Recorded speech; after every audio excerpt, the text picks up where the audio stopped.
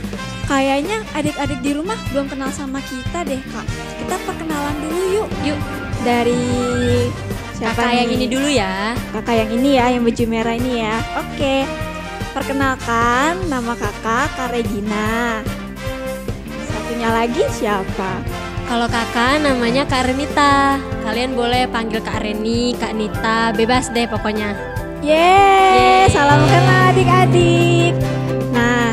Hari ini kita mau mulai ibadah kita ya. Yuk. Nah, sebelum itu kita mau berdoa, nanti yang pimpin Kak Renita. Ayo adik-adik, sebelum kita mulai ibadah online sekolah minggu kita, kita berdoa dulu yuk. Tuhan Yesus, terima kasih untuk pagi hari yang indah ini. Kami masih boleh diberikan kesehatan, kami masih boleh main, kami boleh beraktivitas sepanjang hari ini. Sertai ibadah online kami hari ini ya Tuhan, dari awal sampai pada akhirnya.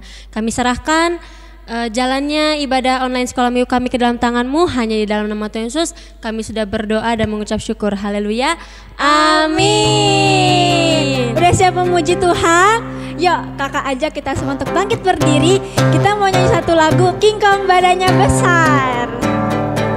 King Kong badannya besar, tapi aneh kakinya pendek.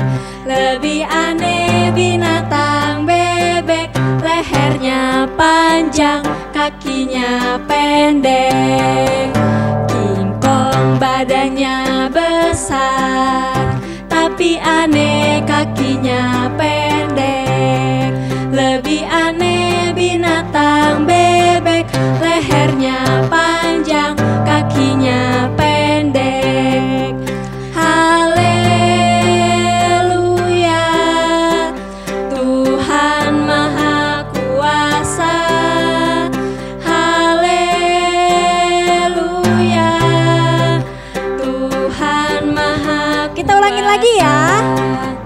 King Kong badannya besar, tapi aneh kakinya pendek. Lebih aneh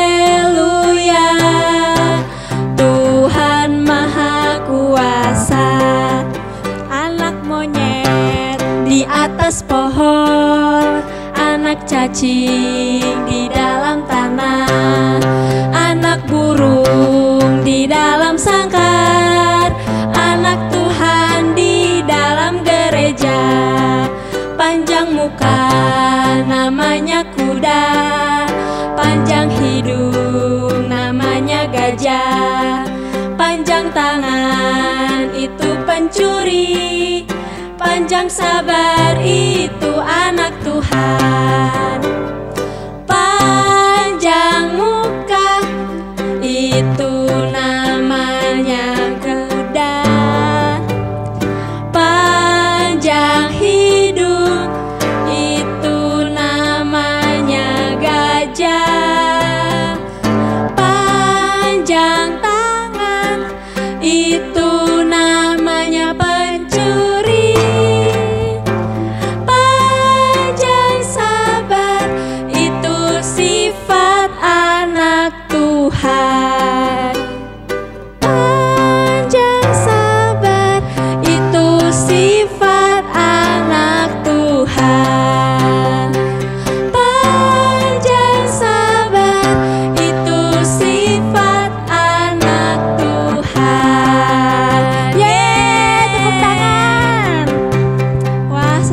Ya. Tuh adik-adik boleh silahkan duduk lagi.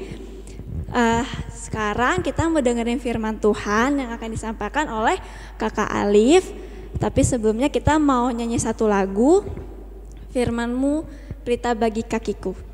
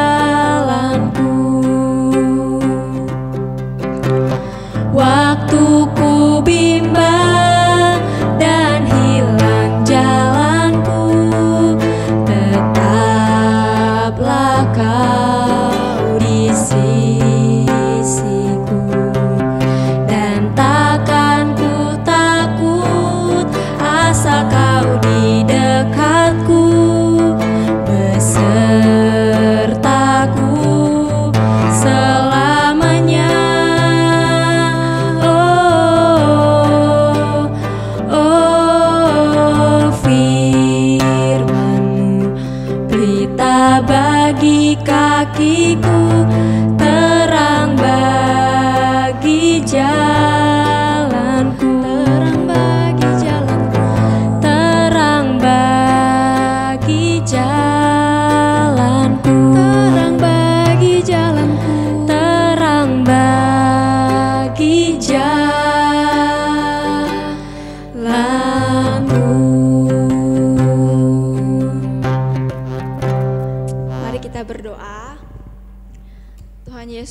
Kasih Tuhan, kami boleh kembali memuji, memuliakan Tuhan. Sekalipun kami berada di rumah Tuhan, tapi kami percaya hadiratmu, urapanmu tetap hadir bagi setiap anak-anakmu yang beribadah online pada pagi hari ini. Sebentar Tuhan, kami akan mendengarkan sebagian daripada firmanmu Engkau berkati hambamu Tuhan, Kak Alif, yang akan menyampaikan kiranya apa pun yang hambamu sampaikan itu boleh berakar, bertumbuh, serta, serta berbuah bagi kehidupan kami. Terima kasih Tuhan, berkati hambamu yang menyampaikan dan berkati juga anak-anakmu yang mendengar. Terima kasih Tuhan, hanya dalam nama Tuhan Yesus kami sudah berdoa dan mengucap syukur, haleluya, amin. Oke, shalom adik-adik. Wah, kita udah lama banget gak berjumpa ya. Iya udah kayak hampir dua minggu kayaknya kita udah nggak berjumpa ya. Oke, sekarang kakak Alif yang akan menyampaikan uh, firman Tuhan. Nah, kakak harap kalian di rumah sehat-sehat semua ya. Uh, Oke, firman Tuhan kali ini adalah temanya tentang persembahan seorang janda miskin. Siapa sih siapa sih di sini kalau tiap hari Minggu selalu dikasih uang persembahan sama papa mama, terus uangnya tuh dibelanjain dulu, dihabisin dulu, habis itu dimasukin ke kantong persembahan. Kakak juga pernah sih, kakak pernah kayak gitu waktu kecil. Tapi eh, semakin kakak dewasa, semakin kakak belajar. Nah, jadi nggak eh, kakak ulangin lagi ya, nggak boleh diulangin juga ya. Jadi kita harus memberikan semuanya yang misalnya orang tua kasih, kita harus kasih segitu di kantong persembahan. Oke, kita baca dulu ya. Nah, di Lukas 21 ayat 1 sampai 4. Lukas 21 ayat 1 sampai 4. Nah, kakak aja yang bacain. Kalian bisa baca di rumah sendiri. Persembahan seorang janda miskin. Ketika Yesus mengangkat mukanya, ia melihat orang-orang kaya memasukkan persembahan mereka ke dalam peti persembahan. Ia melihat juga seorang janda miskin memasukkan dua peser ke dalam peti itu. Lalu ia berkata, Aku berkata kepadamu, sesungguhnya janda miskin ini memberi lebih banyak daripada semua orang itu. Sebab mereka semua memberi persembahannya dari kelimpahannya. Tetapi janda ini memberi dari kekurangannya. Bahkan ia memberi seluruh nafkahnya. Nah, jadi ceritanya ini ada uh, ada ibadah nih, ada ibadah. Terus orang-orang lagi masukin persembahan sama kayak kita ibadah di gereja lagi ibadah. Terus Tuhan Yesus tuh tiba-tiba eh, lihat eh, orang-orang kaya kan orang-orang kaya pada masukin tuh. Dia mereka bawa-bawa tuh yang persembahan mereka banyak-banyak. Kalau zaman dulu itu kan emas perak itu kelihatan tuh dibawa mereka habis itu memasukkan ke dalam rumah Tuhan. Tapi yang menarik adalah ada seorang janda miskin ya adik-adik. Dia datang cuman bawa dua peser. Kalau kalian tahu dua peser tuh sekarang berapa?